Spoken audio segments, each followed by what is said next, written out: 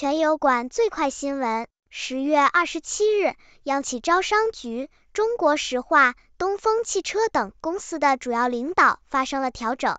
时代被任命为招商局集团有限公司董事、总经理，中任接任中国石油化工集团有限公司董事、党组副书记，而杨青则担任东风汽车集团有限公司董事长、党委书记。这些变动将对相关公司产生重要影响，新任领导的履职也备受关注。央企的人事调整对我国经济发展具有重要意义，我们将继续关注并报道这些变动带来的影响。订阅新闻极速递，最先知晓天下事。